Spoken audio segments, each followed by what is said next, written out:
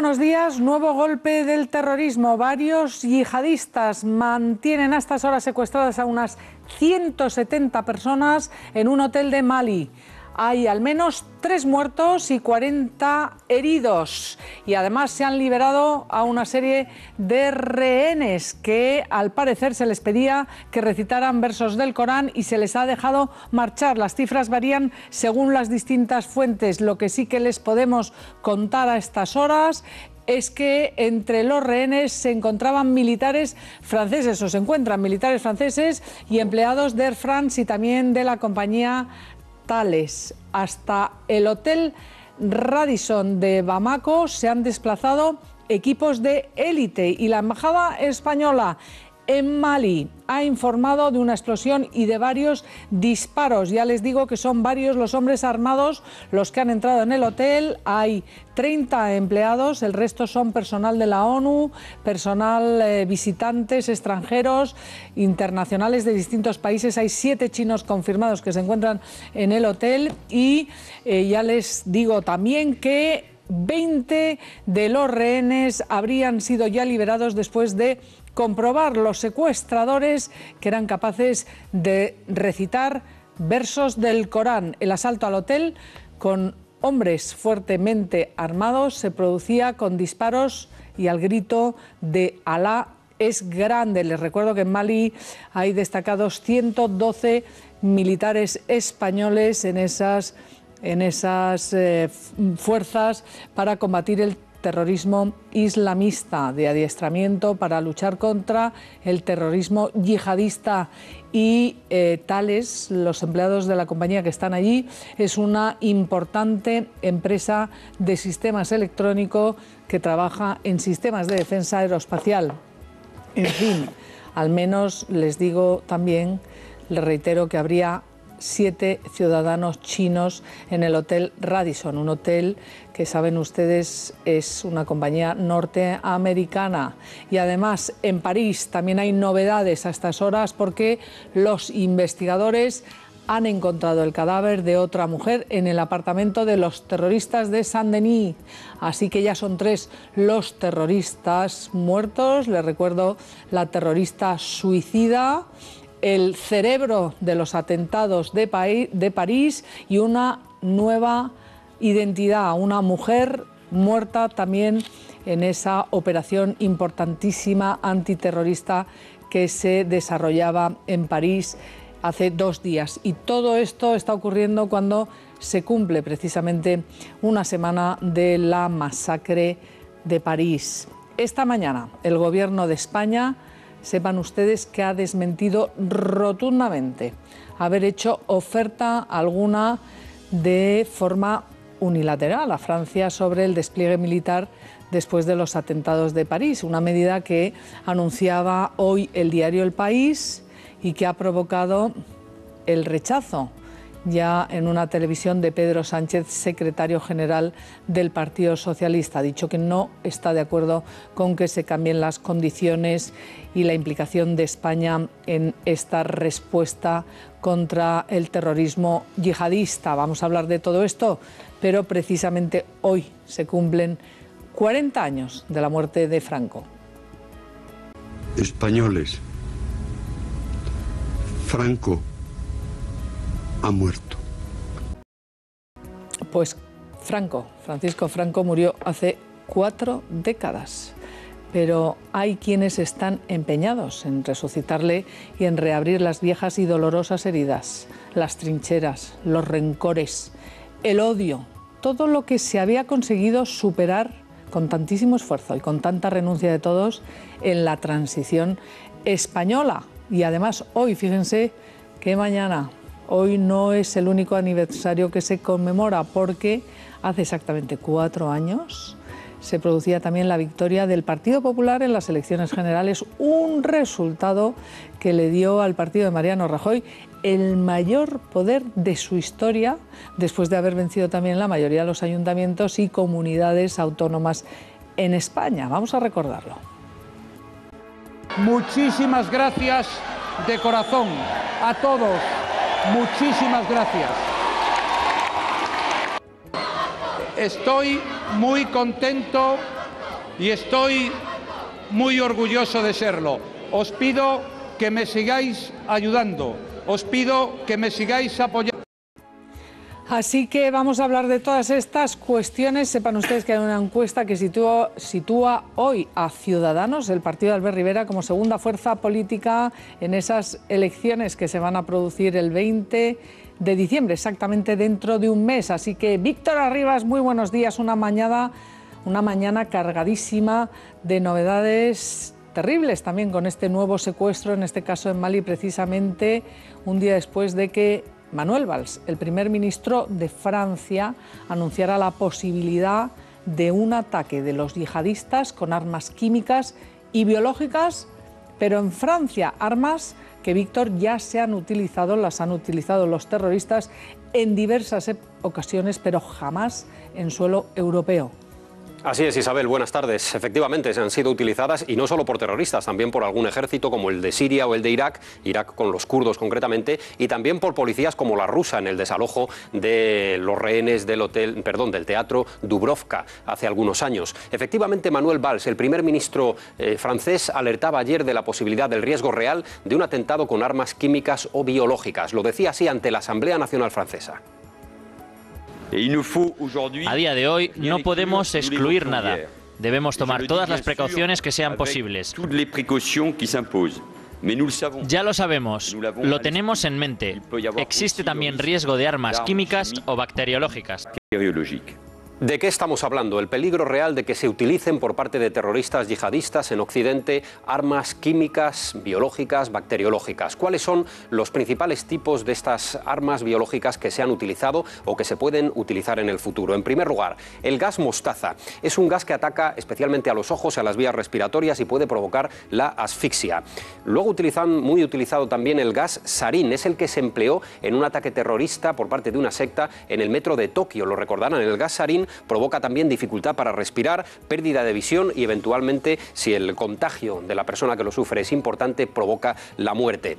El antrax también conocido como carbunco. Es una enfermedad que fue depositada en sobrecitos con un polvo blanco cuando se enviaron después del 11S a instituciones oficiales y a medios de comunicación en Estados Unidos. Son unas esporas que si son respiradas y llegan al pulmón pueden provocar importantes enfermedades eh, respiratorias y eventualmente también la muerte. Tiene también efecto cutáneo, provoca erupciones importantes en la piel. Y en último lugar, las bombas de cloro provocan también problemas respiratorios, un efecto lacrimógeno y finalmente la asfixia. Todos ellos han sido empleados en algunos momentos, no solo ya digo por terroristas, sino también en el caso del ejército iraquí en los años 80 cuando combatió gaseando eh, las revueltas del pueblo kurdo. Eh, hoy vamos a plantearles, hablando ya de política nacional y en relación a esa subida de ciudadanos en los sondeos, ¿a quién prefiere usted como presidente del gobierno? ¿A quién prefiere como presidente tras las elecciones del 20 de diciembre? Si prefiere a Mariano Rajoy, llame al 905 855 5001. En caso de preferir a Albert Rivera, que es la fuerza, el candidato emergente en estos sondeos, llame al 905-855-002. Y queremos también su participación a través de Twitter. Hoy vamos a desplegar dos etiquetas, dos hashtags, para que puedan realizar cualquier tipo de comentario en ellos. Almohadilla MCA amenaza yihad para hablar de todas estas noticias, algunas de ellas de esta misma mañana que estamos contando, y Almohadilla MCA Franco 20N para hablar, Isabel, de ese 40 aniversario que hoy se cumple. Pues muchísimas gracias, Víctor Arribas. Está ya con nosotros Ricardo Ruiz de la Serna, que es profesor de Derecho y Comunicación en la San Pablo CEU, en la Universidad San Pablo CEU y además experto en el mundo árabe. Ricardo, bienvenido. Muchas gracias, bien hallados todos. Gracias por estar aquí. Al menos tres muertos es la noticia ahora mismo en la toma de un hotel en Mali con 170 rehenes por un grupo de yihadistas que han entrado en el hotel fuertemente armados al grito de Alá es grande. Se presupone que el hotel está lleno de personal de organismos internacionales, de empresas internacionales, de la ONU, de una empresa de telecomunicaciones francesa. Parece ser que habría militares franceses ahora mismo en ese hotel y también la noticia, nosotros les tenemos que decir que según la embajada española allí no habría españoles. Ricardo. Hay varias cosas que, analizar en estos primeros datos que vamos conociendo. ¿no? Lo primero es que eh, el Sahel, el norte de África y esta región en concreto del Sahel, lo que queda al sur del desierto del Sáhara, es una de las zonas donde la ofensiva yihadista contra Occidente es más agresiva. Hace unos años ya hubo una, un territorio que controlaron en la región de Azawad, por ejemplo. ¿Me vas a permitir, Ricardo, que te interrumpa? Perdóname, porque nos está escuchando ya en Mali Consuelo Cuadrado, que es eh, misionera española, está en Mali, es hermana del Ángel de la Guarda. Usted tiene 30. Consuelo. Consuelo, buenos días. Sí, hola, buenos días. Consuelo. Buenos días. Está usted en Mali, ¿no? Sí, estoy en Mali, sí, desde hace muchos años. Desde hace muchos años. ¿Dónde se encuentra usted en estos momentos? Pues mira, yo me encuentro en un barrio de Bamako, en un barrio a unos 12 kilómetros de donde ha habido el atentado, en el hotel La. ¿Eh? Eh, bueno, pues aquí estamos viviendo la inquietud que está viviendo el pueblo entero. Se nos ha cortado la comunicación, a ver si podemos retomar esa comunicación con Bamako, con la misionera Consuelo Cuadrado, a ver si es posible retomarlo porque es muy interesante lo que nos tenga que decir. Nos acaba de decir que se encuentra exactamente en un barrio de Bamako, ya saben ustedes, la capital de Mali, donde en estos momentos se encuentra un hotel tomado por yihadistas, un hotel donde habría 170 personas, 30 de ellos empleados, la mayoría eh, personal de distintas compañías que trabajan y que van a Mali. Perdóname, Ricardo, que te haya interrumpido. Si podemos retomar la comunicación con la misionera, ahí vamos. La actualidad manda y además sería muy interesante saber si ya en Malí han podido identificar de qué grupo se trata porque hay varias teorías, hay varias hipótesis. Otra vez está Consuelo, si no te importa, Ricardo. Consuelo. Sí, dime. Perdona, perdone que se nos va la comunicación, a ver si podemos ya... Nos estaba usted diciendo que se encuentra en un barrio de Bamako a 12 kilómetros del hotel que ha sido secuestrado por los terroristas, ¿no? Más o menos. Sí, sí, sí. sí, ¿Y, se ha puesto en contacto usted con la embajada? ¿Se ha puesto que... ¿Tienen alguna instrucción los españoles la que están ahí? Sí, la embajada me ha mandado un mensaje por dos veces diciéndome que había este atentado en este hotel de Radisson en el centro de Bamako, que por favor no, no fuésemos a la ciudad, que fuésemos prudentes y, y nada, aquí estamos en casa.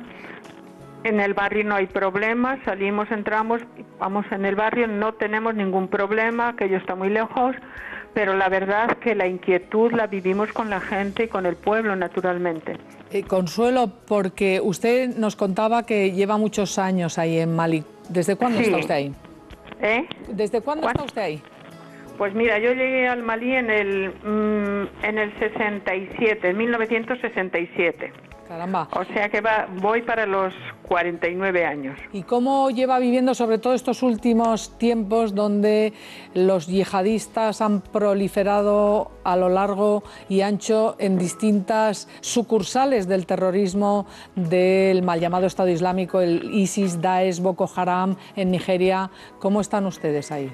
Pues mira, aquí en esta zona donde yo estoy, la verdad que hemos estado prácticamente con tranquilidad, eh, con tranquilidad inquietos, ¿no? Porque no sabes nunca lo que va a pasar ni lo que puede pasar, sobre todo, pues sufriendo, porque ha habido mucha gente que ha sufrido, que ha tenido que dejar la zona del norte, dejar todo lo que tenía, venir para otras zonas, ir a otros países. Y bueno, pues, pero la verdad que este pueblo yo lo llevo muy dentro de mí, lo quiero con toda mi alma y lo considero mi, mi pueblo. Y, y tengo mucha esperanza en él, pero cuando hay estas cosas pues te descorazonan, ¿no? De ver que la, la gente sufre realmente por, sin necesidad de sufrir, Juan. Podíamos vivir tan en paz. Hermana, ¿tienen ustedes idea de quiénes pueden ser los secuestradores? Pues no, la verdad es que no he oído los yihadistas, pero como, no sé, hay tantos grupos y tanto eso que toda, por el momento no lo sé. Yo no he podido tampoco comunicarme con otras personas que podían darme un poco más de, información. Por el momento, pues no sé más que lo que me han dicho y lo que he oído en la radio y bueno, pues eso. Consuelo, muchísimas gracias, Consuelo Cuadrado, hermana del de, eh, Ángel de la Guardia. Muchísimas gracias por hablar con nosotros y si hay alguna novedad, nos volveremos a poner en contacto con usted. Gracias, de verdad. De acuerdo, muchas gracias por el trabajo que hace desde hace 48 años está usted en Mali. Gracias. Gracias. Enhorabuena.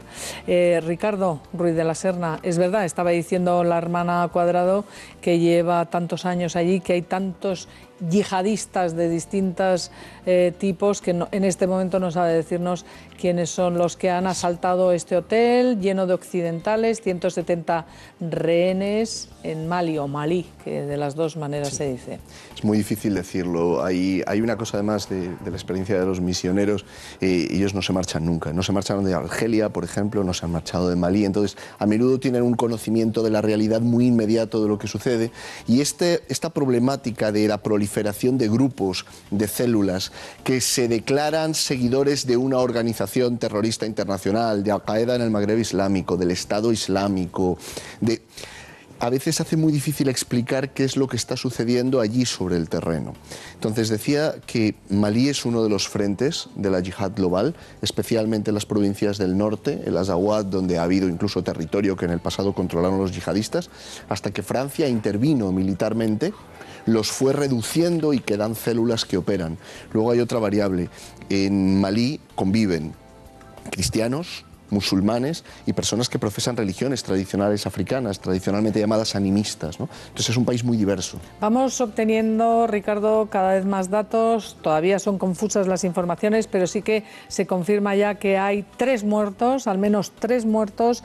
20 rehenes habrían escapado. Les digo, aquellos que podían recitar los versos del Corán que les pedían que lo hicieran y ha habido una docena, 12 turcos que se han escapado, trabajadores de las líneas aéreas Turkish Airlines que han escapado del Hotel Radisson en Bomaco y estas son las noticias de última hora con una un componente que vamos a analizar inmediatamente ha añadido y es que precisamente en ese Hotel Radisson se organizaba este fin de semana, estaba previsto la organización de un congreso de países de habla francesa. Con toda esta última hora, nuevo golpe del terrorismo, vamos a ver eh, pendientes esta mañana de lo que vaya ocurriendo en Bamako. Voy a saludar al resto de mis invitados esta mañana. Cristina Alberdi, bienvenida. Buenos días. Gracias por estar aquí.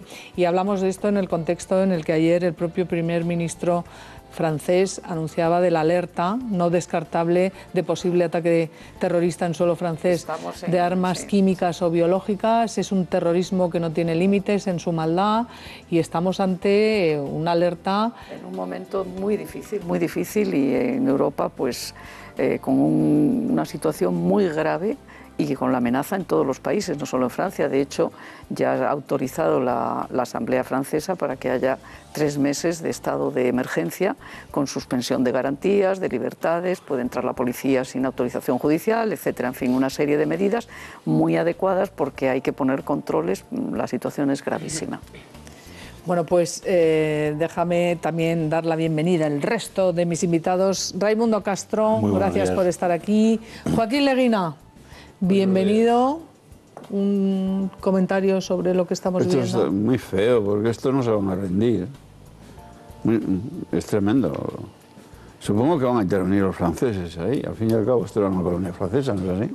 Pinta mal, ¿no? Bueno, Carmen Tomás, bienvenida también. nada, por añadir un dato de cómo están infiltrados, parece que han entrado al hotel con un coche, en un, vehículo con matrícula diplomática, o sea que mm, no se andan con estos, eh, quiero decir que debe haber que se han metido dentro, no han entrado pegando tiros, sino que han conseguido no, han entrado como en el hotel con un coche con matrícula diplomática, es decir que ahí están arraigados y con muchas ayudas, vamos, no sé, y que andan como, que, tiene, que tienen muchas, en fin, mucha gente en la red.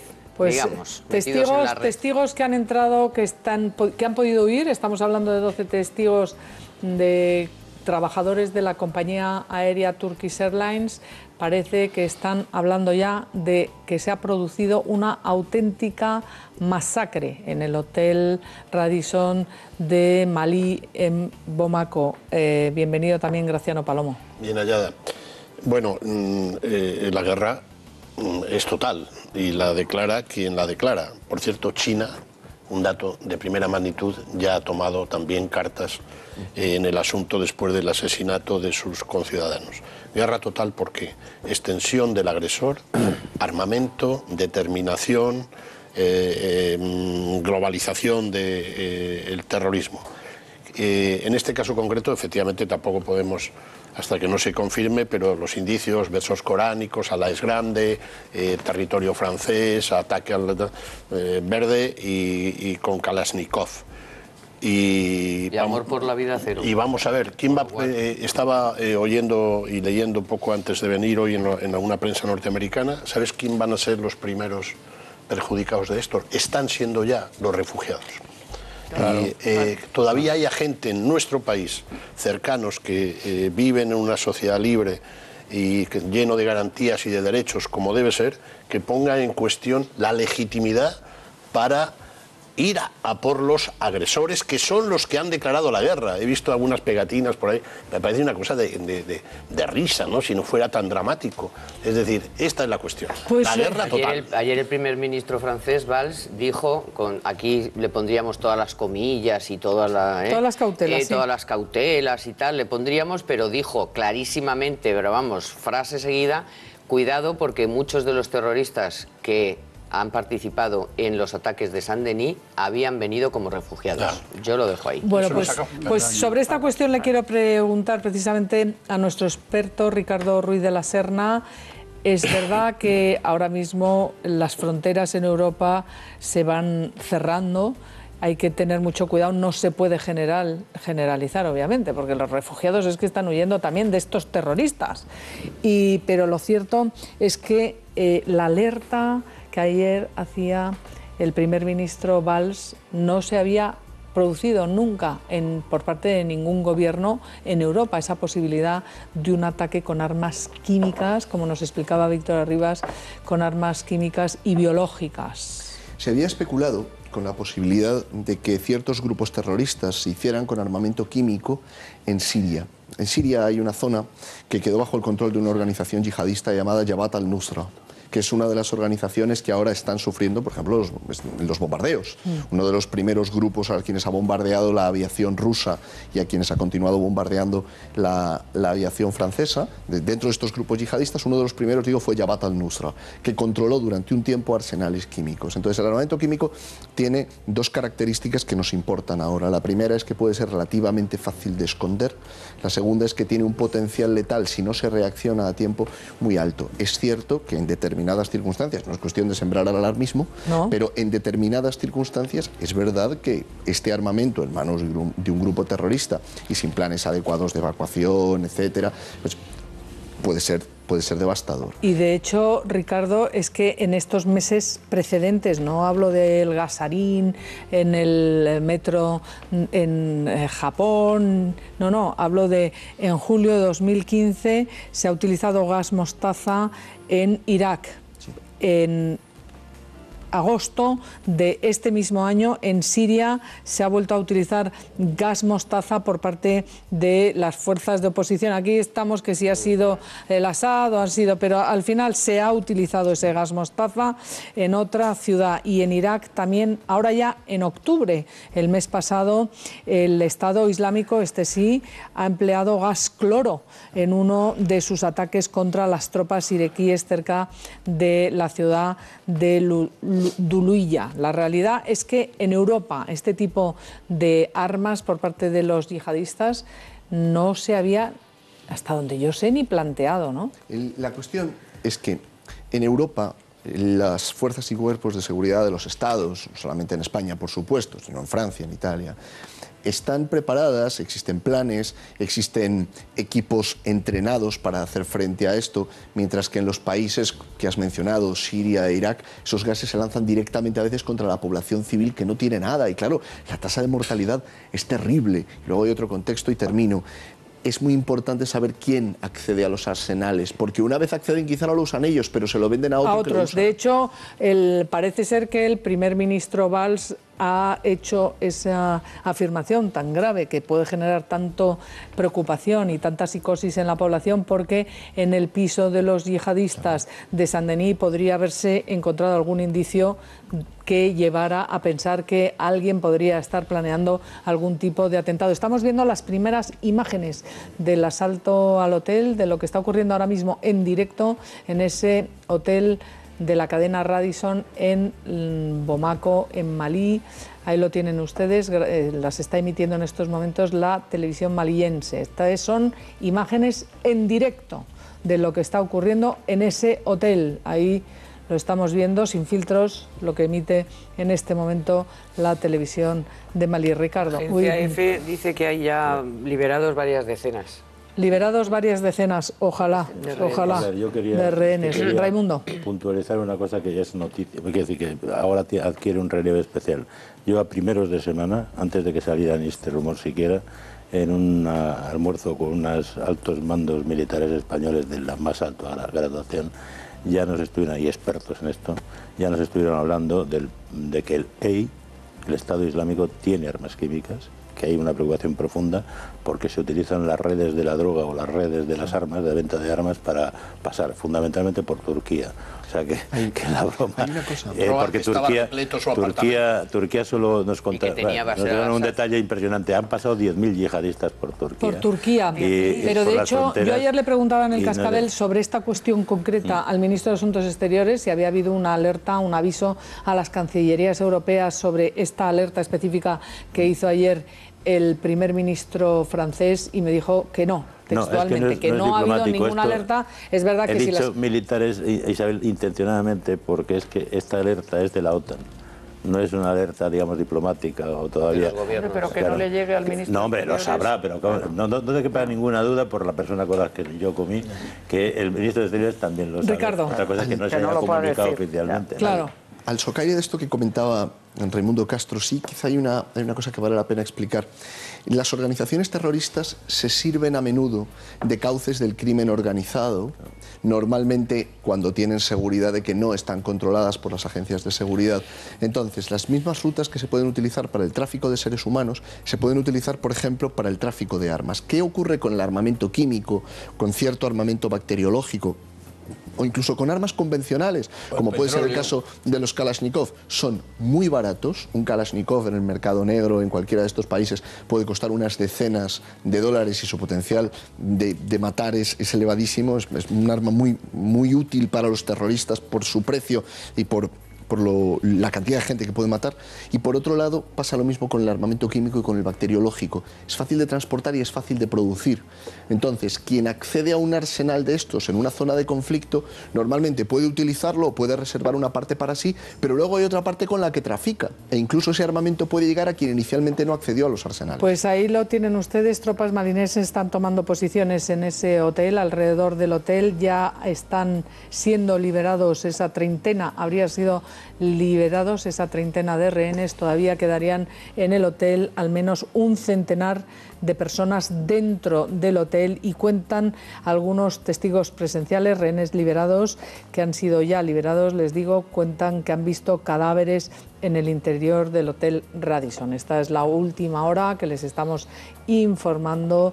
Eh, vamos a ver, Graciano. En estas circunstancias... Eh, y las que vengan, porque nadie en su sano juicio, y mucho menos el presidente, el primer ministro de un gobierno de la segunda potencia de Europa y la cuarta del mundo, como el señor Valls, hace una afirmación en sede parlamentaria sin tener datos, independientemente de lo que se haya encontrado en el apartamento. En estas circunstancias, yo creo que la resolución de Naciones Unidas, precisamente por ser el país, Francia, además, Francia, con toda su eh, tradición y su grandeur, va a, exigir una resolución utilizando, como se hizo en la Primera Guerra del Golfo y en la de los Balcanes, el, el uso de la fuerza.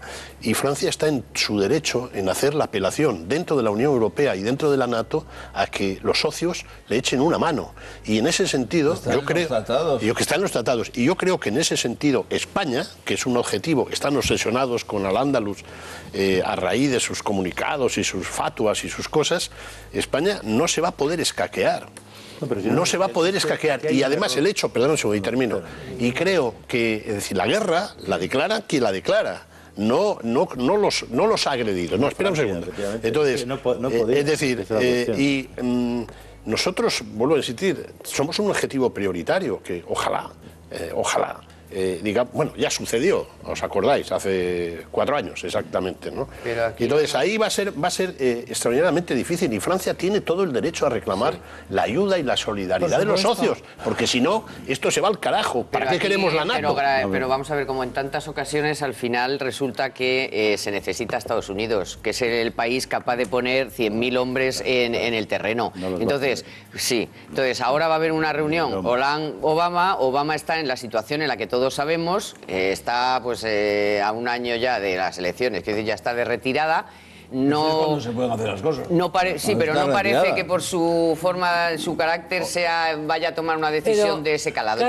todo lo que puede hacer España, puede hacer Italia, puede que sí que sufrió armas químicas porque hubo un terrorista con, con antrax, y ahí sí mm, hubo cinco muertos en Europa. sí. pero ya, pero, es el único. está en, la situación en la que está. Entonces, yo creo que ahora mismo querer que España mm, decida ya qué va a hacer y tal, cuando ahora mismo las las negociaciones están en otro nivel. Eh, ¿Habéis oído a Merkel? ¿Habéis oído a Renzi? ¿Habéis oído al deportivo? O sea, que decir, España se tiene que posicionar antes incluso de que se posicionen Estados Unidos, China. Eh, por favor. que el gobierno español no va a tomar ni una sola decisión unilateral, ni una. está esperando la coalición. Cuando toque, pero vamos a ver, cuando los cuando toque no, está esperando a que haya una coalición. Pero espera, cuando haya una coalición colaborará, pero luego cuando los grandes digan, vamos allí y vamos a poner tanta gente y, y tenemos este plan. Que no va a haber ni un solo soldado, ni norteamericano, pues ni nada, bueno, pues aterrizando, poniendo las botas allí.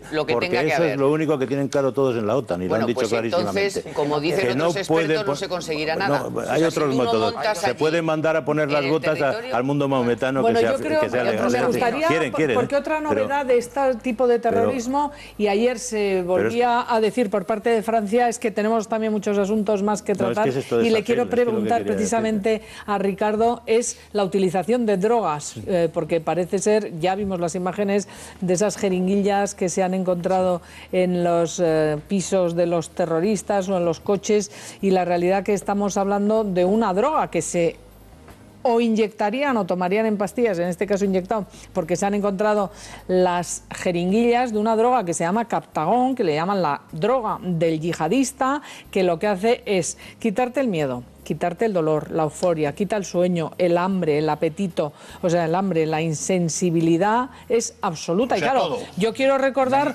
las imágenes como este atentado terrorista nos está haciendo vivir en directo cosas tremendas. Ayer el Daily Mail ofrecía unas imágenes terribles de cómo el terrorista con una sangre fría alucinante iba a matar y se le encasquillaba el fusil que llevaba y no podía matar a una pobre mujer que luego eran dos, salían corriendo y que salvaron la vida de manera milagrosa. Esta droga del yihadista, además parece que el principal productor sería Siria. Sí, hay, hay, un, hay un problema cuando si cuando se necesitan personas para cometer estas atrocidades, las que hemos visto en París, las que hemos visto en Siria, en Irak, personas quemadas vivas, crucifixiones, decapitaciones, degollamientos, hay que inducir estados en, que, lleven a cometer estas acciones espantosas. Entonces, ha habido guerras donde se ha utilizado, por ejemplo, el alcohol, donde se ha utilizado LSD. El captagón es una droga cuyos efectos se parecen un poco a los del speed. Lo que ocurre es que cuando se inyecta, actúa mucho más rápido y con mucha mayor fuerza. O sea, que no son tan valientes así de Alá y esas no, cosas. No, muy a menudo, no, no, muy a menudo, es que muy a menudo se dan las dos cosas. Es decir, se da el fanatismo y la, y la voluntad de matar y además se da el efecto potenciado por el consumo de la droga, en este caso, que se inyecta. Luego hay otro elemento. La droga genera una dinámica de adicción. De tal manera que incluso cuando la persona puede tener duda o puede tener vacilación, sigue teniendo la adicción a la droga, sigue teniendo la adicción. O sea, a que les vuelven drogadictos, porque esto no se lo cuentan a los, a los Claro, que lo que- captan en las lo que- redes, lo que a las, te vas a encontrar a 50 vírgenes y tal, y entonces todos Todos se suicidan, flipados, de claro. nada. En la- Al en final se historia- tienen que meter un chute. Han rebajado ya. son- Han son rebajado a cuatro. vírgenes Claro, solo. tantos muertos han Claro, En la historia del, en la historia del Islam hay un precedente A ver, Ricardo, sí. que es, que es la palabra asesino. La palabra asesino viene del árabe hashishin, que significa el árabe y del persa, que significa aquellos que consumen hashish. ¿De dónde viene el nombre? El nombre viene de una secta, era una secta ismailí que durante un tiempo ocupó una fortaleza llamada Alamut a partir del año 1090 y fueron, fueron, mm, mantuvieron la región en terror aproximadamente un siglo, un siglo y medio y cuenta la tradición que consumían hashish para atreverse a matar a sus enemigos sabiendo que iban a Ah. morir. Y de ahí, Ricardo, todas veri- maneras- ve- estas imágenes de extremísima crueldad Sí. que hemos visto con niños En incluidos, que controlan, cómo sí. queman vivos a personas, dices, es que no cabe esa maldad humana, hay una- es inconcebible. Quiero que veamos la amenaza, a ver si podemos ver este vídeo que estamos viendo ahora, pero bien, vamos a escuchar también esa reivindicación última, porque cada día hacen una reivindicación con una amenaza expresa. Si ayer y antes de ayer estábamos hablando de los ataques a- que quieren hacer al Andalus, Roma y por supuesto París, a Washington, ahora ya con imágenes explícitas en Times Square. Vamos a ver esa- ese nuevo vídeo de los que reivindican y la de los terroristas.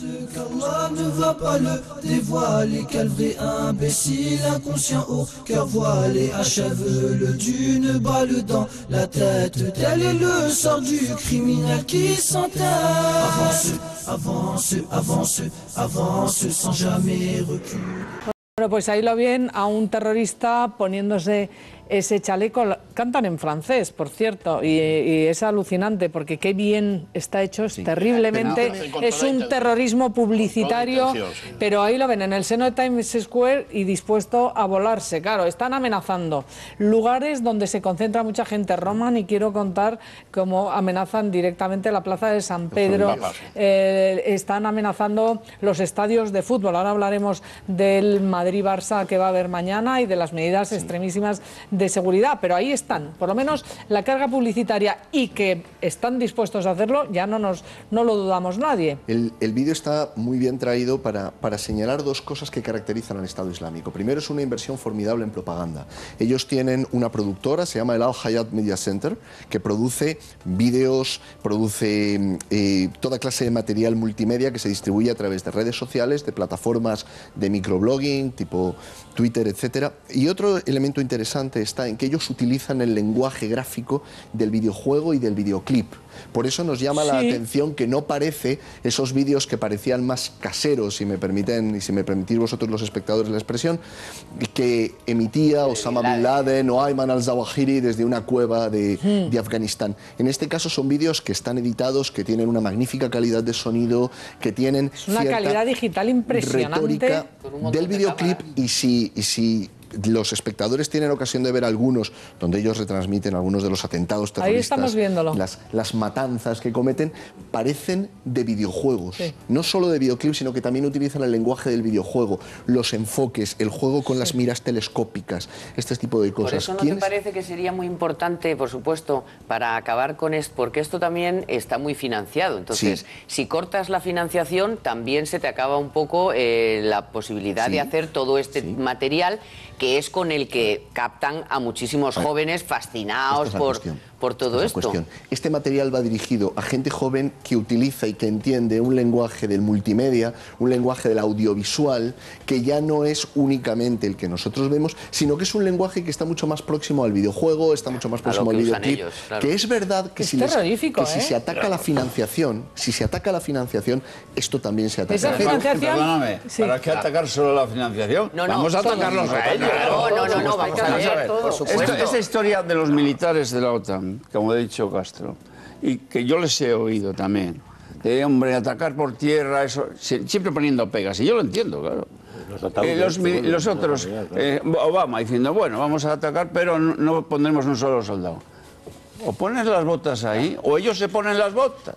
Yo les tengo más claro que Pero esto que te acabo de oír, eh, Joaquín, mira, Acuérdate del no a la guerra, acuérdate de que ahora mismo hay quienes está diciendo, por ejemplo, Manuela Carmena, que lo que hay que hacer es generar empatía y Estamos hablando en serio, no de No, Manuela no, pero, Carmena. pero, pero y esto en Francia, eh, porque gobierna la izquierda, pero hay que recordar en España gobernaba la derecha José María Aznar y la que le montaron de acoso al Partido a ver. Popular, a la sede del PP, culpándole de los creo que atentados. guerra fue un error tremendo de Bush, error Pero tremendo. acabas de decir ahora que hay que atacar, ¿no? Claro, ahora sí. Ahora hay todas las razones para atacar. Con Naciones Vamos Unidas y la OTAN. Siempre, naturalmente. La primera Sí, guerra del Golfo que- también, que Es estaba verdad, Felipe no le González. puedes, perdóname que termine, termine.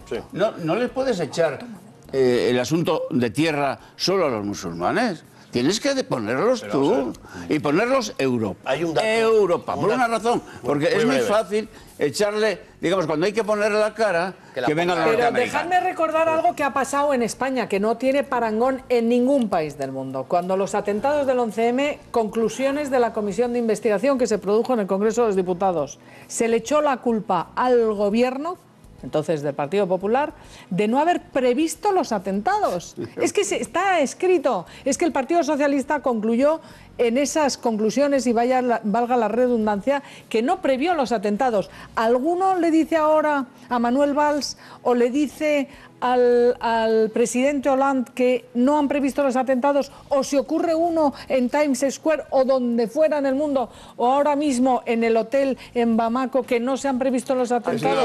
es que en España se ha politizado los Aquello- atentados aquello, de una manera si me, innoble. Si me permites, aquello fue un disparate, algo miserable, algo lamentable, cómo se partió en dos la sociedad española, cómo se atacó al PP como si fuera culpable, todo ligado, claro, a la guerra, al, a También apoyar. el PP lleva una Tal- política bien, magnífica, Vale, ¿eh? no, no. Amén de que lo hizo muy bueno, mal porque muy no- mal, no perdóname. pero- unanimidad pero- las pero no justifica. no justifica, o sea, lo hizo, lo hizo fatal, pero no justifica, bueno, todo, no podían salir de la sede. Bueno, fue una cosa terrible, terrible. Asesinos, Pero, se sí, les llamaba terrible, asesinos, terrible. se ponían las pero claro, eso nos tiene que servir y quizás pues le ha servido a Rajoy para llevar otro camino totalmente Sí, pero- distinto. Lo, pero déjame terminar, voy muy breve. estamos ahora Lo, donde estamos. lo- lo primero que ha hecho Rajoy a mí me parece muy bien, es decir, todos juntos, yo llamo a todas las fuerzas políticas, yo voy de la mano de la Unión Europea. Pero ya hay quien asoma la patita, OTAN, y de la OTAN. y de la OTAN, por supuesto. Ya va quien asoma la patita, ya el país tiene que salir hoy diciendo que Rajoy propone relevar al ejército francés en Mali. África. La- Eso es infumable, No, porque pero es si enredar. negado. La Hay- postura- hay un- la hay un Pero es, es que no hay derecho. No- no hay derecho, además o sea, por ya están escrito, ¿eh? El país está en elecciones. Que se ha, re- se ha reunido esta mañana el Consejo de meses porque- Seguridad y han emitido un comunicado es. diciendo que Pero ¿de no hay ninguna Pero. ¿de dónde saca el ¿de dónde sale eso? la De aquí, noticia? de aquí, mira, de aquí Rajoy Increíble. ofrece ¿Pero relevar dónde a sacan Francia ellos la noticia? en el control militar de ¿Dónde sacan esa No lo noticia? sé, en la TDT que no le han dado. Están- están- La Alguien TDT que quiere envenenar. Porque ya no es la... va- Son varias veces. Vamos a ver. Son los temas, ¿eh? Esa- veterano. esa- No hay una, moral interna de los periodistas. Deontología profesional. Eso, Claro. moral. Depende de los medios. Eh, ¿Y qué vamos pasa con En eso? el tema de fondo, yo, el país que lo doy, la importancia que lo doy. La cuestión de fondo que yo te Quiero que- recordar que una cosa, Graciano, reconozcáis que no es que hemos es que hemos estado buscando aquí, y es que quien le dijo al gobierno de España que no había previsto los atentados fue nada menos que el entonces ministro del Interior, José Antonio Alonso, el amigo de Zapatero. Le dijo, es que ustedes no han tomado las eh, precauciones y no habían previsto esos atentados. es una eso es una- acusación, es una acusación que no tiene precedentes. Porque aquello se hacía, Vamos, perdón, pero no aquello se hacía ahora nadie, porque ¿eh? la Guardia Civil y la Policía Nacional habían estado yendo por su lado, no había coordinación y porque Aznar, y eso sale también en, la- los resultados de la Comisión de Investigación, y porque Aznar eh, había destinado toda la fuerza policial. Nosotros éramos los mejores expertos que había en el mundo hasta el punto que los americanos vinieron a pedirnos ayuda para localizar y localizaron porque venía de Barcelona al, del El comando 11M, Dixon, al de, al de ¿Tú te acuerdas no. esos que en el que Sí, cuando no, acuérdate reía- cuando nos reíamos No, de no, Garzón cuando- no, no, porque hablaba de que, de que reíamos, no. montaban. No, yo no, me reía, ¿no? No, Claro. no, te voy a contar lo que pasó. Se acusó al gobierno de Aznar de querer infundir miedo a la población hablando de terroristas islamistas cuando se detuvo a lo que se llamó en Barcelona el comando Dixon. Y en el Congreso de los Diputados, y tú estabas como yo, se le dijo, ustedes lo que quieren es generar el pánico para que se apoye la guerra de Irak. Es que en este país hay que recordarlo todo. pero bueno, Vamos. pues, sí, No, pero oye, solo, oye, solo una cosa, es que antes de la guerra, antes no, de... Hablado. Bueno, no habrá Bueno, oración. no, no, no, no siempre- concluyendo. Hay que pelearse, vale, eh, vale. Hago así de ¿eh? hago de.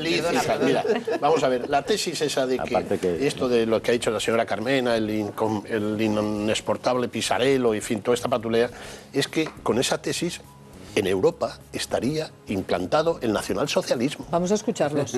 Vamos a escucharlos. Vamos No, a escucharlos. Dejadme despedir a, a Ricardo, que le quiero Luego solamente preguntar sobre esta respuesta de esta parte de la izquierda en España, porque es verdad que el Partido Socialista ahora, vamos, a mí me parece que está muy bien.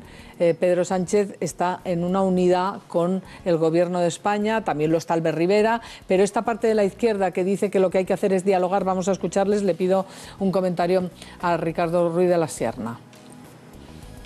Tenemos todos que hacer un esfuerzo para quitar de, nuestra de nuestros conceptos y de nuestra imaginería el concepto de la guerra. En, el diálogo, en buscar siempre alternativas para hacer posible que haya una empatía, para intentar ver en el otro a un ser humano y hacer lo imposible para lo que yo llamo la educación eh, para la paz. Vayamos a las elecciones en una suerte de estado de excepción. Un estado de excepción por la crisis en Cataluña y de estado de excepción por la locura del islamismo radical. Y nosotros lo que reclamamos es mucha inteligencia y mucha sensibilidad democrática. Y esa solamente la logramos cuando donde otros quieren poner el miedo, nosotros vamos a poner el diálogo de la ciudadanía. El problema del, del terrorismo yihadista parece que no se combate eficazmente solamente con, con bombardeos y con endurecimiento del Código Penal. Me parece preocupante que todavía el Gobierno a, a día de hoy eh, no nos haya convocado al conjunto de, de las fuerzas políticas. Ricardo Ruiz de la Serna. Y yo creo que hay que hacer tres consideraciones. La primera, las organizaciones terroristas yihadistas no quieren negociar. No quieren negociar, no quieren dialogar, quieren imponerse e imponer una agenda política por la fuerza y por la violencia. Y creo que esto es, esto es lo que, una de las características que tienen. Podríamos ir a cualquiera de los conflictos donde han intervenido, digo conflictos en el sentido de guerras, podemos ir a cualquiera de las situaciones que han tratado de desestabilizar, no quieren negociar nada. Creo que hay una segunda variable. Es verdad que el Estado Islámico en concreto es una organización terrorista peculiar porque alterna, combina combates en campo abierto de naturaleza militar, aunque obviamente los ejércitos no hacen las atrocidades que comete el Estado Islámico, pero de naturaleza militar con el terrorismo urbano que podríamos llamar, vamos a poner unas comillas, conocido, convencional o, o- o clásico, aunque a mí la expresión no me gusta. Y hay una tercera característica del terrorismo que ya se vio en la guerra del Líbano, lo vio un personaje llamado Imad Mughniya, un- uno de los, de los líderes de Hezbollah, que es que los atentados, entre otras cosas, sirven para sembrar la división en las sociedades democráticas. Para hacer para hacer Está para claro. crear una situación de terror de terror que paraliza a los ciudadanos y les impide le- les impide tomar decisiones que a veces van movidas incluso por, por la claridad moral Pero de bueno, hacerle frente a una agresión. Pero tú, eres, tú, vamos a ver, Ricardo, tú eres un intelectual. Estamos escu- acabamos de escuchar a la señora Carmena, que, que va de feminista, que va de, de dialogante, que va de- del imaginario, dice que tenemos que olvidar todo esto de la guerra y las bombas y tal. Y resulta que esta señora está diciendo que negociemos con estos salvajes que tratan a las mujeres, como ya lo hemos visto, que que, que dialoguemos. con estas personas, personas, las llamo personas por llamarlas. ¿eh? que decapitan a la gente, que ellos. mujeres las violan, las, las Queman machacan, las queman vivas. ¿Pero qué me está diciendo esta señora? Y Pablo Iglesias, eh, hace año y medio, decía que la paz se construye sobre los resultados de la guerra. Entonces, ¿qué me está contando ahora? Este, es- es, que, es que son... eh, no tienen Vamos a ver, argumentos. Joaquín, o sea, que perdóname que tengo que despedir a Ricardo Ruiz de la Serna. Gracias por haber estado Muchas con nosotros. vosotros. Y sobre esta España cuestión. Terminándose, habiendo ganado en parte Hitler, es decir, porque trajo aquí eh, a sus aviones y sus pilotos, en ese momento las democracias occidentales le entregan parte de Checoslovaquia, cuando tenían que haberle de guerra en el año 35. Cuando declaran la guerra en el año 39, en septiembre, cuando eh, invade Polonia, eh, se había armado hasta, hasta, vamos, hasta los ojos, ¿no? Habían tenido que declarar la guerra antes, hubo ocasiones antes. Y todo lo que vino después, la gran tragedia que vino después, es responsabilidad de quienes no declararon la guerra. Churchill lo dijo después de Múnich en, el Parlamento británico. Yo, si me permite, sí. Termino un momento, porque quería, quería terminar con, con cómo se funcionaba la izquierda en ese momento. Bueno, eh, eh, Churchill les dice a sus, a sus compatriotas, no, a sus comilitones del Partido Conservador, eh, entre la guerra y la indecencia, habéis escogido la indecencia, pero también tendréis la guerra. Y en efecto, acertó, desgraciadamente acertó. Pero ¿qué decían los comunistas, por ejemplo, en Francia? ¿Qué decían? La paz. Esto, de, esto son batallas entre la burguesía alemana y la burguesía británica y tal. ¿Por qué decían eso? Porque eh, Stalin había aprobado un tratado con Hitler. Sí, de no agresión, sí. Cuando, llegaron, a París. Cuando, cuando Stalin cuando eh, Hitler ataca a Stalin, entonces se volvieron todos belicistas y metieron la resistencia. Una posición moral absolutamente impresentable. Pero, pero hay, que, hay que comprender, pienso yo, que hay ese buenismo o esa situación que, bueno, pues se da la izquierda, puede ser Manuela o gente que dice, no, hay que quitar, hay que no pensar en la guerra.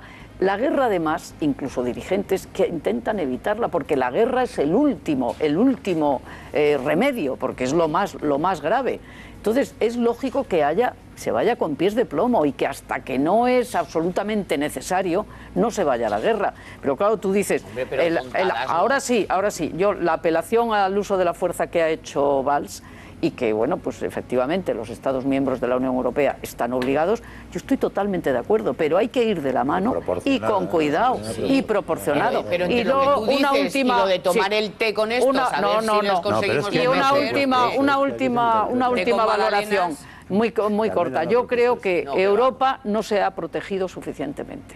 Europa ha tenido unas leyes muy garantistas, ha aceptado una multiculturalidad que no ha funcionado y ahí hay una serie de problemas que vienen de atrás que ahora es muy difícil resolver.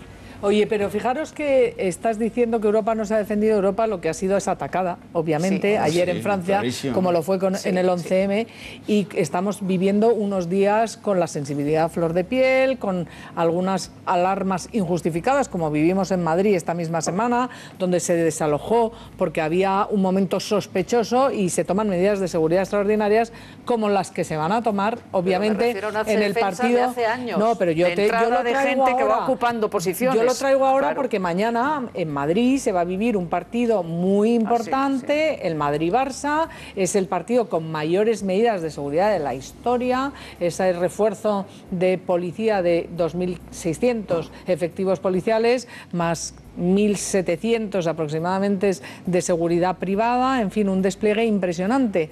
Pero es que quiero recordaros el precedente de que en Bruselas, en el Estadio Rey Balduino, se suspendió ese encuentro España. Bélgica, un encuentro amistoso y también se tuvo que suspender en, en, Hamburgo con Holanda. Yo espero que no pase aquí porque no hay ninguna alerta especial y ahora lo vamos a hablar. Pero antes quiero que veáis lo que dijo Pablo Iglesias sobre el encuentro que se, perdón, eh, Pedro Sánchez sobre el encuentro de, eh, de Bruselas, el que se suspendió, pero por motivos de seguridad, porque nadie lo suspende, supongo, porque sí, alegremente. Yo lo respeto, pero no lo comparto. Creo que los terroristas lo que pretenden es que cambiemos nuestros hábitos, que, que condicionen nuestra agenda y creo que no, no, no debemos de caer en esa trampa. Creo que lo importante es que hagamos nuestra vida normal. Eh, somos mucho más fuertes que ellos, nuestro sistema democrático y de convivencia es mucho más fuerte y, por tanto, yo respeto la decisión de las autoridades belgas. Pues ahí tienen, fue el secretario general de los socialistas el que no comparte que se pueda suspender un partido de ah, fútbol. no compartes esa suspensión. Esa suspensión, esa suspensión. Pero, sobre todo, tendrá que decidirlo la policía. Yo quiero... quiero la policía y ya está. Claro, pues ¿quién tiene los datos? La policía. Luego pasa algo y se le echa la culpa al gobierno por no haberlo previsto, como vimos... Hay, nuevos datos sobre el de Hannover, ¿eh? que lo hemos pasado de largo porque no apareció la furgoneta y tal, pero hoy hay nuevos datos sobre por qué se suspendió el partido, el otro, el de Hannover, no el de España. A ver, Bueno, eh, porque al final parece que sí que había eh, la posibilidad de que allí se produjera un atentado. Bueno, Vamos es a que ver, o sea, es yo que... quiero yo quiero dar la bienvenida y, es- Y te lo voy a- y además agradecerle enormemente que esté con nosotros al comisario Fernando Delgado, que es experto precisamente en seguridad de grandes eventos, en grandes eventos, comisario. Gracias por estar aquí. Muchas gracias. Eh, esto que estamos discutiendo, porque evidentemente hay opiniones para todos los gustos, supongo que no es plato de buen gusto suspender un partido de fútbol, pero cuando se toma esa decisión es que las autoridades tienen información suficiente para decir aquí hay un peligro real y no podemos someter a la población, exponerla a ese peligro.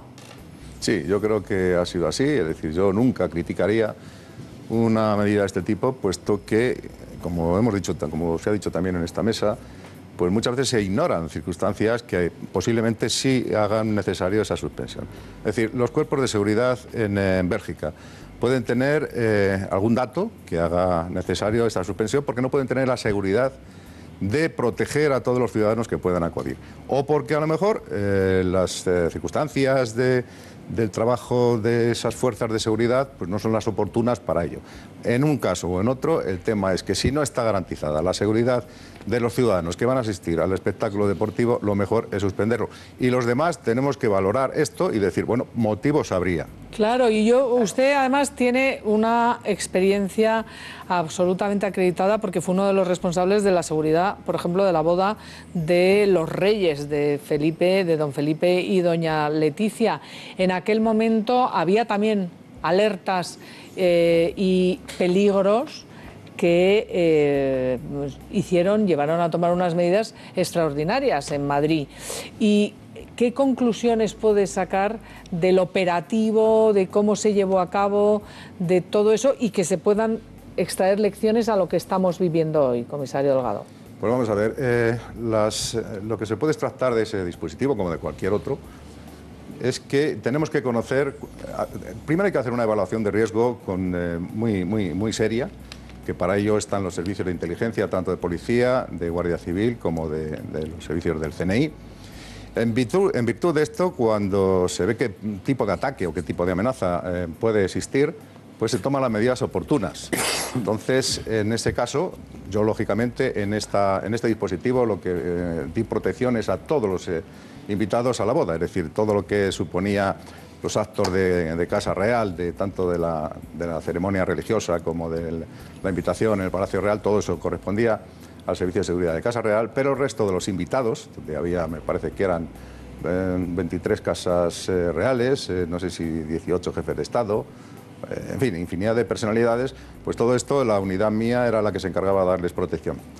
Naturalmente ahí tuvimos algún tipo de alarmas, algún tipo de circunstancia, con independencia del terrorismo genérico, que es, esa amenaza siempre existe, pero en ese caso pues había algún tipo de amenaza. Concretamente recuerdo que se hablaba, que me parece que los, en los medios sociales en las, eh, salieron unas noticias que daban, no sé si 500 o 600 euros a aquella persona que fuera capaz de estampanar un huevo con pintura en el vehículo de los contrayentes. A nosotros, dentro de la Comisaría General de Seguridad Ciudadana, eso nos pareció una barbaridad y, tratamos de impedirlo. Es decir, eh, prácticamente los responsables dijimos, si esto ocurre, yo desde luego dimito. Eh, en Casa Real, bueno, pues asumían eh, cierta, eh, cierto riesgo, pero nosotros no pretendíamos que eso saliera así. Y al final se hicieron, se tomaron una serie de medidas, se registraron las jardineras que se habían colgado de las farolas, incluso, una por una, para ver si se registraron todos los alrededores, a ver si podía haber huevos. Se pusieron controles, como se va a hacer en el partido de mañana, controles a la entrada de los itinerarios principales para eh, ver que la gente no era portadora de este tipo de huevos con Porque, a- a- claro, usted está, ahora estamos hablando de huevos, pero eh, nosotros en lo que estamos pensando después de París es bombas, Sí, es cinturones con explosivos suicidas y el despliegue de seguridad, que se ha todo el operativo de seguridad que se ha organizado mañana, pasa también, supongo, eh, he leído, por investigar los portales uno a uno de alrededor del Estadio Santiago Bernabéu, los pisos en alquiler, las papeleras, las alcantarillas. Le pido que nos cuente usted en qué Sí. consiste este tipo de operativo. Vamos a ver, yo no soy experto en el tema de acontecimientos deportivos, sino en eventos donde asisten personalidades que tanto, eh, personalidades que a nivel nacional como internacional gozan de protección.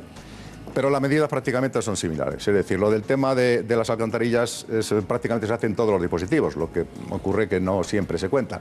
Porque en muchas ocasiones es importante contar lo que se va a hacer para que a nivel disuasorio surta efectos y otras ocasiones a lo mejor no es tan conveniente para que el malo no tenga la sensación Claro. de decir, me conozco todas las medidas, voy a ver por dónde las. Voy a sortearlas. Naturalmente se van a, en este caso, lógicamente estamos hablando de un atentado terrorista de matiz islámico con, eh, con terroristas eh, eh, kamikazes, con eh, artefactos que se pueden introducir en el campo, poner en los alrededores. Naturalmente este dispositivo, según estoy viendo por la prensa, puesto que como yo no estoy en activo ya, pues eh, no tengo conocimiento directo de, esas medidas, pero vamos, como prácticamente las conozco, el tema del chequeo de todos los alrededores, esos dos o tres cinturones que se han establecido, con chequeos por, eh, parte de- del Cuerpo Nacional de Policía, con perros adiestrados para la de- detección de explosivos, con el control de vehículos, de, perdón, de, pisos, eso es lo que se llama el expediente vecinal, se, hace eh, se ven esas casas que pueden estar alquiladas y se hace una investigación sobre las personas que hayan podido alquilarlas. Se eh, registran eh, portales, se registran eh, lugares donde puede ser eh, factible esconder algún artefacto, como alcantarillas, como, como registros de, luz, de agua, de gas. En, los portales incluso, pues hay algunas veces donde se pueden, esto no lo hacían mucho los antiglobalización, en todas las manifestaciones que hacían cuando la presidencia española de la Unión Europea escondían las armas que iban a utilizar en, en estos portales, en, en huecos que había en los portales. Entonces pasaban al lugar de la manifestación sin nada en las manos Limpios y luego los y recogían. después lo recogían. Con Pues, lo cual, todo esto se va a hacer aquí y yo creo que se va a hacer perfectamente y no va a haber duda. ningún problema. Comisario Fernando Delgado, experto en seguridad de grandes eventos, gracias por haber estado con nosotros. Y fíjense ustedes que hoy precisamente lo veíamos al principio. Queréis recordar, porque estamos viviendo unas fechas pues muy emblemáticas, 40 años de la muerte de Franco. Y hay muchos más antifranquistas Y que cuando cuatro- vivía Franco, es una cosa misteriosa. ¿Cómo? A ver, ¿cómo has dicho que hoy Sí, hay que más? ahora hay muchos más antifranquistas que cuando vivía Y que no habían nacido. misteriosa. Que no habían nacido. Ah, vamos a ver. ¿queréis? vamos a recordar el momento que se comunicaba a los españoles. eh, vamos a verlo. Españoles, Franco ha muerto, era Díaz Navarro. Vamos a verlo. Españoles. Franco ha muerto. Y realmente desde entonces, año 75, 20 de noviembre hasta hoy, España era un lugar del mundo en el que yo, que estudié en Bruselas un máster de política europea, se ponía como ejemplo de la transición española, de cómo se había conciliado. Ah, pero no había sido una traición. ¿no? Se había- yo es que todavía era pequeña, no, pero se pone como ejemplo en las universidades Pues del mundo sí, la, ¿no? la conciliación, Algún la renuncia, a- la renuncia de todos. Eh, embargo, lo que Isabel, conseguimos en la transición, En algo- lo que conseguisteis fallado, vosotros. pues ya, pero Lo es- más importante, perdona, lo has dicho tú, la palabra reconciliación nacional. Claro. Eso fue lo más ¿Y importante. qué es lo que ha saltado? ¿Por qué ha saltado por los aires? por lo, que yo, por lo que yo creo. Yo creo que noso- nuestras generaciones, desde la vuestra a la nuestra, y no hemos sabido transmitir a nuestros hijos eh, y a nuestros jóvenes lo- cómo se hizo, lo importante que eso fue, lo que costó, no sé por qué, no sé dónde, si en la escuela, en las casas, en las familias, no sé dónde. Yo creo que hemos creado unos jóvenes que no valoran, no valoran Mira porque le han vivido en siempre en, ¿eh? democracia, no valoran lo que tienen, lo que ha costado conseguir todo lo que tenemos. No, pero, pero yo lo decir creo, que yo lo creo. Franco, uno, creo. murió en la cama, dos, ahí lo tenemos por aclamación, llegando a Barcelona, años No, no, y 70. un millón, un millón 70 de personas y en la algo. Puerta del Sol, ¿no? En la- Eh, el Barça le hizo en hijo, Oriente, en no la sé cola. cómo, ¿no? Un millón Como en hijo la predilecto. ¿Cómo se, ¿Qué le hizo el Barça? ¿Hijo predilecto? ¿Cómo se no, dos veces, tres veces, la tres veces, la insignia de oro y brillante. Insignia de oro. El derecho a la evolución no se le puede negar a nadie. Yo, al ver a Yarides ¿por qué no Navarro, me hace eh, tal. Parece que han pasado no 40, 400 años. El país no se parece en nada. Por cierto, Pero y al verle, quiero recordar, el Franco ha muerto, ¿eh? Franco ha muerto, tengo que darlo. eh, el- la noticia la dio Europa Press. En exclusiva fue el premio nacional y allí Antonio Herrero, padre donde esté, un saludo, porque fue él. eh, yo era eh, becario, entonces en Europa Press, becario. Pero sigue siendo- no, no, no, y se- pero y- ¿por qué a la tercera generación y el teleti- ahora voy, ahora voy. Y el de teletipista, es un dato, un dato. El de teletipista, que ya lo teníamos preparado. Antonio Herrero, que además era el padre de Antonio eso Herrero. es, Antonio hecho por hecho padre. Y tenía Franco muerto, Franco, ese era el, fa- el, el Telex, que entonces era con Tele, la agencia Europa Press. Y el, el tío que estaba allí, el técnico que tenía que pasarlo, no quería darlo. ¿Por qué? Y le decían, eh, manzanita, que lo metas. Y no, no quería, decía, que no lo doy, que, que esto no puede ser posible y tal. Una cosa eh, alucinante. Pero- pero lo doy como dato curioso. Decía, que yo no doy eso. Pero, pero eso que es muy interesante como dato curioso, a mí lo que me preocupa es que estas nuevas generaciones Sí, sí, voy, españoles, voy, voy, voy. con esa ley de memoria histórica de José Luis fallado? Rodríguez Zapatero, que ha conseguido, porque dijimos, va toda la reconciliación va a saltar por los aires y me parece a mí que en parte lo ha conseguido. yo- hay yo un odio sería, ahora, si me permites, hay un enfrentamiento. Yo, sería, yo muy ¿No? brevemente, Yo sería sí. un poco más optimista en el sentido ¿Sí? de que creo que es una minoría. Hay jóvenes, pues en Podemos, de algunos, no todos, es una minoría la gente que está descalificando de forma rotunda la transición, descalificando la reconciliación y yo creo que esa radicalidad de algunos no se puede generalizar. La mayoría de los jóvenes, pero la mayoría reconocen y lo han estudiado y les parece que las cosas se han hecho bien y que, bueno, pues hay un camino, sin duda, pues de errores, también de cosas que hay que reformar, Si no pero jóvenes, hablo dentro de Izquierda Ya, Unida. ya, no, el no, propio jóvenes, Zapatero dijo que no se había te habías de, que no de- se de había hecho. jóvenes Sí, son pero no solo no solo Me jóvenes, refiero- Cristina. Me refiero a toda, perdona, a toda la sociedad. Toda la sociedad es una minoría quien está tan radicalizada, a mi juicio. Pero si el propio, el propio No, Zapatero no, no tan minoría, ¿eh? No, no tan minoría, que en la critica La universidad... transición es precisamente ahora que estamos haciendo 40, el 40 aniversario porque teóricamente no se acabó con el franquismo sociológico. Es decir, ni se condena. Ya, ya, ya, ya, ya, ya. No, pero bueno, pero bueno, no, no. Pero Este, decir- el no la es que, por El ejemplo, a ver quién enseña en las escuelas aquí que Franco es un dictador como Hitler en Alemania. A ver quién, qué comentarios hacen. Entonces, eso Es que en la no cultura. era Hitler en Alemania. Bueno, era, era un dictador, no ver, como Hitler en Alemania. escúchale a Cristina. No me depende. A ver. Cristina, repítelo Claro, porque es que aquí esto, son- esto hay que estudiar que Franco es un es que dictador. Franco era un dictador, pero no como. Hitler en Alemania. Franco ver, tuvo cosas buenas, perdóname. Como cosas buenas. Todos los Pero dictadores ¿quieres que te diga También? Hitler hizo No, las carreteras no, de Alemania. Perdona, tuvo cosas buenas y tuvo toda la etapa de López Rodó. de cultura democrática, que es la que no, hay. Y no tiene nada que ver con, el impresión rencor. personal de aquellos días. ¿No? Yo tenía 34 años, eh, eh, eh, o sea que es fácil saber cuántos años tengo ahora. No los Y, eh, aparentas, Y pero- yo eh, fui franquista desde muy joven.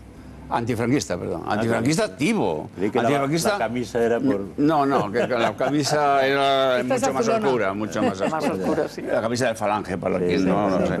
No, era mucho más oscura. He sido antifranquista activo toda mi vida, de joven. He sido líder sindi- sindical de- universitario, etc.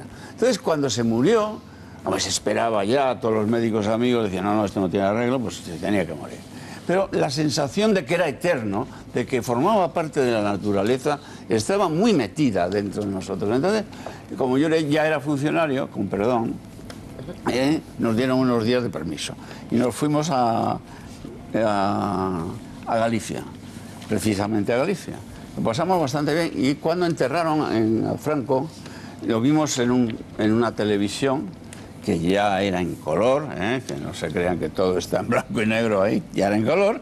Entonces estábamos en un bar, nadie hablaba de eso, todo el mundo miraba y cuando cayó la losa esta, tuve la sensación por primera vez de que allí, de allí, No no, saldría. Por primera vez. Lo cual la sensación de, de la generación mía es la sensación de eternidad. Se acabó la eternidad. Empezamos otra nueva vida. Y yo creo que el discurso más interesante para la reconciliación nacional, que habría que poner algún frontispicio, es el discurso de Marcelino Camacho, que se había tragado más de 20 años en la cárcel y que dijo cuatro o cinco palabras verdaderamente inolvidables. En nombre de los que habían sufrido más cárcel, dijo, esto se ha acabado. Tenemos que abrazarnos. Un discurso que mantuvo el Partido Comunista durante muchos años y bien mantenido. Hasta que vino la crisis del Partido Comunista y empezaron todas estas cositas de que había sido una traición, Claro, la transición al Partido Comunista no le salió bien porque pensaba que iba a quedar eh, como representante de la gran izquierda y no era así. Eh, Fue el PSOE, fue el eh, PSOE quien sevillano. Y claro, esa, esa, ese reconcome de los comunistas, eh, eh, cuando Carrillo se fue y, y empezaron las nuevas generaciones de comunistas, mm, es muy difícil, ¿no? No voy a decir que los comunistas no tienen arreglo, pero ha habido ejemplos últimamente, por ejemplo, este, chic, este catedrático de Derecho Constitucional de Sevilla vuelve como la burra al trigo. Y eso a mí, y son los comunistas viejos. ¿Te refieres a Pérez Rollo? Sí, vuelve como la burra al trigo. Bueno, pues ahí queda, nos hemos quedado sin tiempo.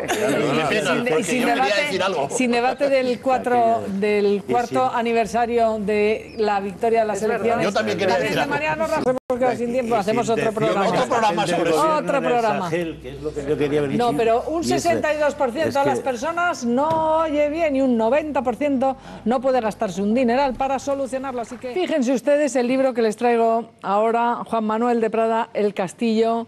Aquí lo tienen de diamante. Están viendo ustedes en la portada dos mujeres, un enfrentamiento impresionante. Santa Teresa de Jesús y la princesa de Ébola con enorme maestría, como no. Juan Manuel de Prada, bienvenido, gracias por estar aquí. Es un placer. Juan Manuel, avidez de Dios frente a la avidez mundana de poder, que es lo que representan Santa Teresa de Jesús y Pues la sí, princesa de Éboli. sí, efectivamente. Es un conflicto eh, al que nunca se le ha prestado mucha atención, el que tuvieron Santa Teresa de Jesús y la princesa de pero extraordinariamente novelesco. La princesa de era una mujer que admiraba a Santa Teresa, era una mujer también que se daba cuenta que a Felipe II le interesaba la reforma que estaba promoviendo Santa Teresa y propone propone a la santa que vaya a fundar un convento a la sede de sus estados, que es Pastrana, Pastrana. en Guadalajara. Eh, allí va Santa Teresa, pero saltan inmediatamente las chispas, hay un enfrentamiento eh, tremendo entre ellas, porque tienen dos conceptos de lo que tiene que ser ese convento y en general dos conceptos sobre la vida y sobre el mundo antagónicos, ¿no? Siendo dos mujeres muy similares, siendo dos mujeres de iniciativa, dos mujeres con un carácter muy fuerte, dos mujeres con una personalidad muy acusada, sin embargo, no encontraron la manera de entenderse y a partir de ahí pues, surge un conflicto que termina de forma dramática. Eh, yo lo cuento, mm, pero a pesar de contar una historia dramática, la cuento con sentido del humor. ¿no? La novela trata de ser una novela bien humorada y trata de ser un homenaje primero a, a- a Santa Teresa y en general a, a- a la España de la época, a la España del reinado de Felipe II. Merecidísimo homenaje, desde luego, además a Santa Teresa en este quinto centenario, pero la pregunta que yo me hago es ¿por qué le denuncia la princesa de Éboli No se sabe, a esto la es una- es, eh, mm, hay, hay muchas incógnitas en la relación que mantuvieron y, e históricamente no tenemos los datos que nos permitan eh, asegurar certeza cuál es la razón por la que la princesa denuncia a Santa Teresa ante la Inquisición. Lo más probable es que la denunciase por considerar que en su, que en su obra, en especial en el libro de la vida, había proposiciones heréticas. Esto es lo más posible. Sin embargo, que, hay que resaltar, porque los analfabetos siempre dicen que a Santa Teresa la persiguió la Inquisición. La Inquisición no persiguió a Santa Teresa, no solo no la persiguió, sino que eh, la ayudó y robusteció eh, su figura. Hace unos días ponían en la televisión una película abyecta, eh, pagada por la Comisión del Quinto Centenario. ¿Así? Eh, sí, sí, sí, en donde se ofrecía esta imagen de que Santa Teresa fue perseguida por la Inquisición. Esto es totalmente falso. Contra Santa Teresa se levantaron muchas denuncias, entre ellas la de la princesa de Éboli, y la Inquisición lo que hizo fue reafirmar rotundamente que eh, Santa Teresa no solamente no era una hereje, sino que además lo que proponía eh, podía servir de gran edificación espiritual a quien, a quien leyese sus obras o siguiese su ejemplo. Pues qué pena ¿Eh? de televisión, ¿no? Bueno, eso es la televisión pública pagada con el dinero de los españoles, eh, sufragada además, como digo, por una comisión del quinto centenario que se ha dedicado a ensuciar y envilecer la figura de Santa Teresa. De forma sistemática y a propagar todos los tópicos que circulan sobre la época. Y contra esos tópicos, ¿tú qué destacarías de lo que Bueno, yo destacaría una cosa, por ejemplo, Digo cuando se dice que Teresa. Santa, Teresa, que Santa Teresa fue una adelantada a su época, esto es una majadería terrible. Santa Teresa solo pudo hacer lo que hizo en su época, porque fue en su época cuando se le permitió hacer esa reforma y se le permitió, por ejemplo, fundar conventos de frailes a una mujer. Eso se le permitió en el reinado de Felipe II. Eso no se le hubiera permitido en el siglo XVII, ni en el XVIII, ni en el XIX, ni en el XX. Eh, no, Santa Teresa fue una mujer que tuvo la suerte eh, de vivir en un momento en el que a raíz del concilio de Trento, eh, la Iglesia, pero muy especialmente la monarquía española, consideran que la Iglesia tiene que cambiar, que la Iglesia tiene que purificarse y que para eso tiene que renegar de prácticas acumuladas eh, durante la época anterior y en ese contexto es donde surge una mujer como Santa Teresa. Pero una mujer como Santa Teresa pues eh, se le permite escribir las obras que escribió, se le permitió fundar 17 conventos en oposición, además, a muchos de los superiores de su orden religiosa, eh, se le permitió, se le permitieron expresiones espirituales, como por ejemplo la oración mental, que era toda una novedad en la época, que en otras épocas hubieran sido impensables. Va- Vas, eh, Juan Manuel, vas por la cuarta edición. Aquí cada libro que, haz- que tú escribes, aquí estamos siempre Y te lo agradezco muchísimo, te lo agradezco encantados. muchísimo. Cuarta edición en este proceloso mundo de las letras y además y, y proceloso y además complicado mundo de la piratería, porque es que el mundo de la piratería sí, sí, es un- con los una libros situación difícil es una situación para un escritor, sí. muy complicada. Muy y en esta, difícil. en esta novela, que desde luego el argumento es apasionante, es un viaje a la historia de esa España del siglo XVI con estas dos mujeres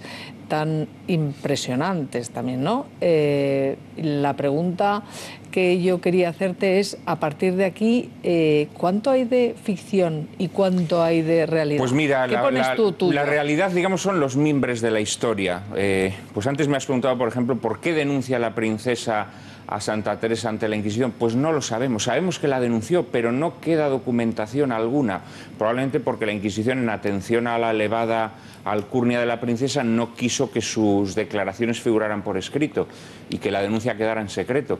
Pues a partir de ahí, el novelista se tiene que imaginar qué es lo que la princesa eh, alegó ante el tribunal Ujú. eh, y uno tiene que imaginarse muchas cosas. Pues ah, tenemos datos, sabemos, por ejemplo, que, em, que Santa Teresa y la princesa en Pastrana pues tienen un, un enfrentamiento terrible y conocemos algunos pequeños episodios, pues por ejemplo, que la, que la princesa en venganza pues le pide a Santa Teresa su libro para leerlo y Santa Teresa se lo entrega con la única condición de que no se lo deje leer a nadie más.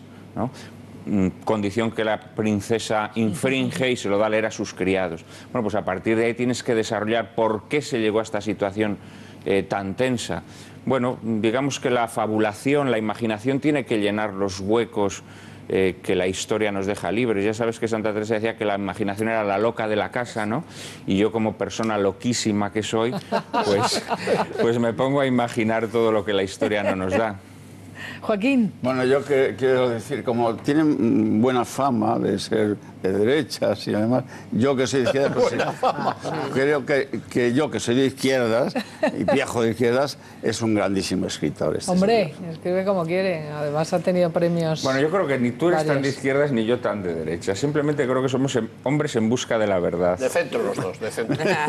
No, no, yo de centro no, no, no, no, no, no, yo de centro no, gracias a Dios de centro no, pero eh, pienso que estas categorizaciones que son modernas, yo soy un antimoderno, entonces un antimoderno no se puede reconocer ni como de derechas ni de izquierdas. Yo soy de la época de Santa Teresa, De soy premoderno, soy de la premoderno. época de Santa Teresa y me resultó muy curioso porque he estado viendo antes la presentación de tu novela el otro día y me resultó muy curioso la mención que hacías al embajador de, Rus- de Rusia que estaba contigo entre los invitados. Yo llevo años, yo llevo años defendiendo la posición de Rusia a través de mis artículos. El tiempo pues me, me va dando la razón en las posiciones que he defendido, ¿no? La considerado Rusia siempre actual, ¿estás hablando? la Rusia actual, naturalmente, claro. no, no la Rusia soviética, Soviética, evidentemente. sí. No, la Rusia actual, la, la- la Rusia, la La- Rusia de siempre, la Rusia de siempre, que ha sido una nación cristiana eh, que lo sigue siendo y que en estos momentos creo que está eh, manteniendo una línea eh, política de, de, lucha contra el nuevo orden mundial que a mí me parece muy interesante. ¿no? Y desde luego las posiciones que ha sostenido en Siria, por ejemplo, pues bueno, el tiempo va demostrando que eran las posiciones eh, lógicas y las posiciones que había que defender. Oye, eh, es que nos hemos quedado sin tiempo. Ah, bueno, bueno. ¿Quieres hacerle rapidísimo No, una nada, pregunta? bueno, es que, que creo eh, haber eh, podido colegir de lo que has dicho que Santa Teresa no fue, pregunto, una rompedora en su tiempo. No fue una rompedora. Mm, Bueno, vamos a ver. mm, Lo que fue rompedor, lo que fue rompedor fue el Concilio de Trento y eh, lo que Felipe II quiso para la Iglesia. Y Santa Teresa nace en ese contexto. Lo que pasa es que Santa Teresa es un personaje genial. es un Trento es, la personaje genial. contrarreforma. ¿Eh? Trento es la contrarreforma. Es que nos hemos quedado Bueno, sin Trento tiempo. es- Ya me quedo. No me hables de Trento me ya, quedo. porque aquí lo tienen. Yo les recomiendo que lo lean. El Castillo de Diamante, Juan Manuel de Praza. Enhorabuena de nuevo, cuarta Muchísimas edición. gracias. Aquí ustedes, pero va por la cuarta edición. Así que ahí lo tienen, editorial Espasa. Gracias, Juan Manuel. Ja-. ¿Cómo estoy hoy? Juan Manuel. y mira, gracias. ahora fíjense lo que le voy a recomendar a todas Como balance han sido liberados, habrían sido ya liberados 80 personas hotel en Malí, en Bamako, el Hotel Radisson. Toda la actualidad se la va a contar ahora María Pelayo con Marian Viñas, porque empieza el día antes la respuesta a la pregunta que les hacíamos esta mañana. ¿A quién prefieren ustedes como presidente? ¿A Rajoy o a Rivera? 67,4%, a Rajoy un 32,6%. A Rivera, gracias por opinar, por estar ahí. Feliz fin de semana. Hasta el lunes y gracias a todos.